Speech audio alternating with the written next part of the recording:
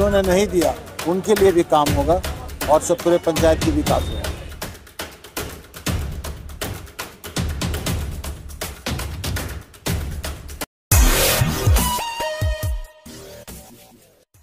हाँ, जनता को सबसे पहले तो मैं धन्यवाद दूँगा जिन्होंने वोट दिया मुझ पर विश्वास रखा और जिन्होंने नहीं दिया उनके लिए भी काम होगा और सब पूरे पंचायत की विकास होगा। मुद्दा था शिक्षा स्वास्थ्य इसको लेकर क्या जी ये मेरी प्रायोरिटी है आज भी है और आगे भी रहेगी।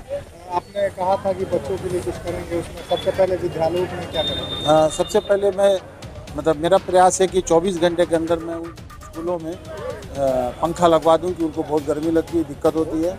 उसके बाद उसके बाद कंप्यूटर लगा दिन भी आपको जो पुलिस गिरफ़्तार किया था क्या? ये जो पुलिस जो गिरफ़्तार किया था साजिश था हमारे घर के पूर्व मुखिया रहे हैं। उनकी साजिश का देन था मगर पुलिस ने देखा कि मैंने कुछ किया नहीं तो पंद्रह मिनट में साजिश करने वालों को जनता ने नकार दिया। जी हाँ साजिश करने वालों को पिछले बार भी नकारा था इस बार भी बहुत कस के नकारा है।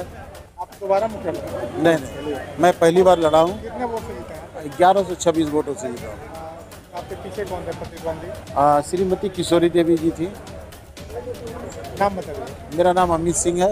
मैं वर्तमान खलवा गाँव में रहता हूँ और जी खलवा पंचायत।